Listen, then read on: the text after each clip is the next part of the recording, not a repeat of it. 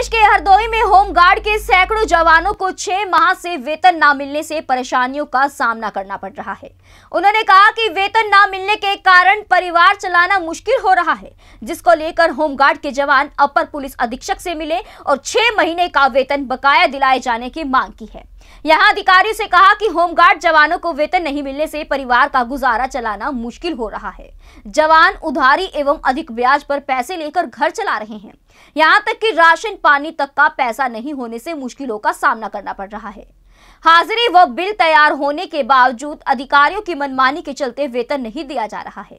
Home guard ने बताया कि कहीं पर भी सुनवाई नहीं हो रही है। हर रोज पैसे नहीं आने को लेकर जवान अधिकारियों के चक्कर लगाते हैं। इसके बावजूद जवानों को संतोषप्रद जवाब नहीं मिलता है।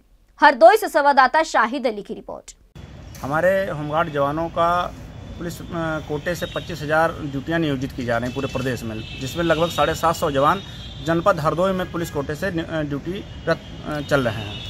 जिनका विगत छः माह से वेतन का भुगतान नहीं किया गया है, जिससे जवानों के परिवार में काफ़ी स्थिति दयनीय हो चुकी है। बच्चों की फ़ीस, दूध, तमाम चीज़ों से परेशान हैं हमारे जवान। इसलिए हम लोग आज ज्ञापन देने पुलिस अधीक्षक महोदय को आए हैं कि इनका जवान जवानों का वेतन का भुगतान जल्द कराया जाए। जबकि शासन द्वारा बजट भी जारी किया जा चुका है, लेकिन पुलिस विभाग द्वारा भी हम लोगों का वेतन भुगतान नहीं किया गया है।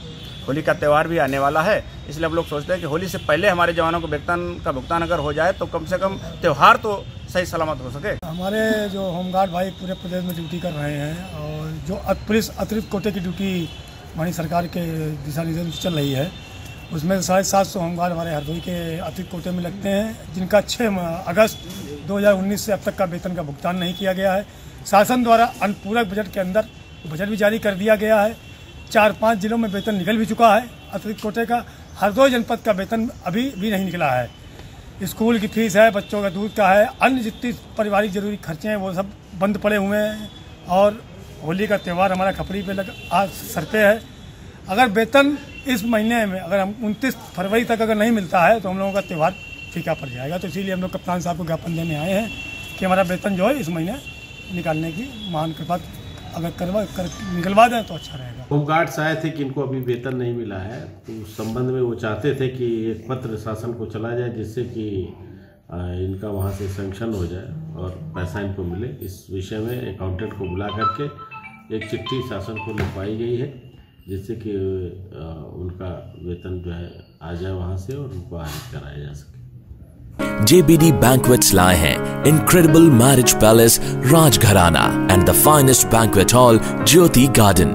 World class catering, centrally air conditioned, lush green lawns, state of the art lighting. A perfect venue for wedding, launching and parties. Rajgharana and Jyoti Garden at JBD Banquets Enterprise.